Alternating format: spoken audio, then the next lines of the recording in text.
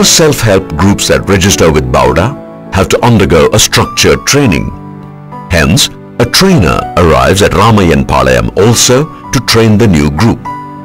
Generally, the field officer herself conducts the training, but here, the Bauda decided to use the training coordinator to train the group members. The training coordinator comes to the training venue along with all the documents, training schedule, attendance sheets for the day 1 and day 2, and training charts, self-help group members training manual, operational manual of Bauda, self-help group records, and training report format. இந்த வறுப்பைது வேள்ல எல்லாரும் கழுத்து போடுங்க அதே போல நீங்க வந்த நேரத்தையும் கூட குறிப்பிடுங்க சரிங்க madam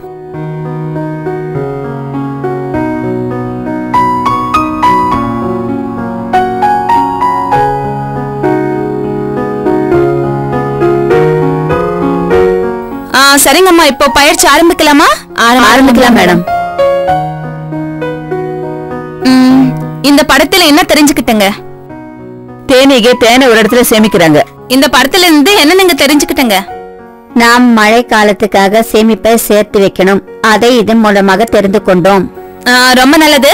The trainer once again explains the concept of the self-help group and the benefits the members could derive from it by referring to the pictorial chart. ஒரு சுய உதவிக்குழுன்னா ஒரே கிராமத்துக்கு சேர்ந்தவங்களா இருக்கணும். பன்னெண்டுல இருந்து இருபது உறுப்பினர்கள் இருக்கணும். சேமத்திய பழக்கம் உள்ளவங்களா இருக்கணும். சமூகத்திலயும் பொருளாதாரத்திலயும் அவங்க முன்னேறவரா இருக்கணும். சுய உதவிகளை பத்தி புரிஞ்சுக்கிட்டங்களா? புரிஞ்சுக்கிட்டோம் மேடம். ரொம்ப நல்லது. The trainer then explains the importance of savings and how the group savings could be used for internal lending.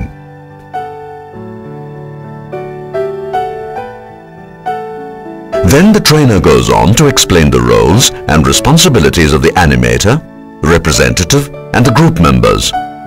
She also explains how all of them can make the group function properly. இந்த சுய உதவிக்குழு நல்லா நடக்கணும்னா ஊக்குனர் தான் அதுக்கு முழு பொறுப்பு அடுத்தது வங்கி பவுடா போன்ற திட்டங்கள்ல குழுவோட சேர்த்து நிலத்து தன்மை வளர்ச்சி அடையத்துக்கும் ஊக்குனருக்கு தான் முழு பொறுப்பு ஊக்குனர் இல்லாத டைம்ல பிரதிநிதி கூட இருந்து குழுவை பாத்துக்கணும் இதுதான் அவங்களுடைய பங்குகள். உறுப்பினர் தவறாம வார கூட்டத்தில் கலந்துக்கணும்.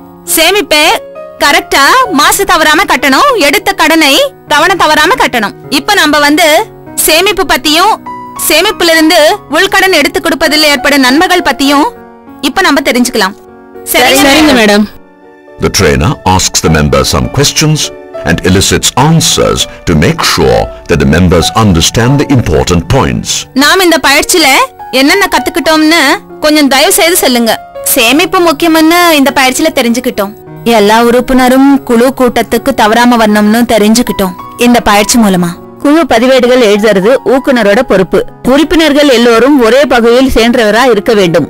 நம்ம குழியில நாம் சேவிச்சுக்கிட்டோம்னா நம்ம கடனா எடுத்துக்கலாம். வெளியில அதிக வட்டிக்கு நம்ம வாங்க தேவையில்லை. குழுவில இருந்து கடன் கொடுக்கலாம். அதுக்கு வட்டி எவ்வளவுன்னு நாமளே முடிவு செய்யலாம்.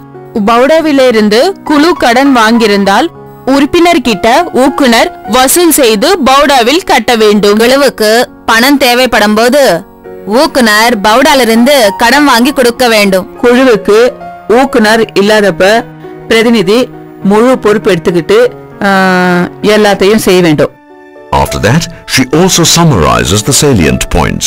நண்பர்களே இன்னைக்கு நம்ம கத்துக்கிட்டது சுய உதவிக்குழுன்னா என்னன்னு? சுய உதவிக்குழுல ஊக்குனர் பிரதிநிதி உறுப்பினரோட பங்குகள் என்னென்னவோ? சேமிப்பு அந்த சேமிப்பு மூலமா உள்கடன் எடுப்பதனால என்னென்ன பயன் பண்றதுன்னு தெரிஞ்சுக்கிட்டோம். இதோட இந்த பயிற்சியை முடிக்கிறேன். நாளைக்கு காலையில எத்தனை மணிக்கு நம்ம சந்திக்கலாம்? ஒன்பது மணிக்கு இதே இடத்துல சந்திக்கலாம் மேடம். நாளைக்கு காலையில ஒன்பது மணிக்கு இதே இடத்துல சந்திக்கலாம். போகிறதுக்கு முன்னாடி இந்த அட்டெண்டன்ஸ்ல உங்களுடைய கையெழுத்தையும் போகும் டைமும் போட்டா நல்லா இருக்கும். சரிங்க. Madam. As suggested by the trainer, the members sign or put their thumb impressions on the attendance sheet after the first day's training.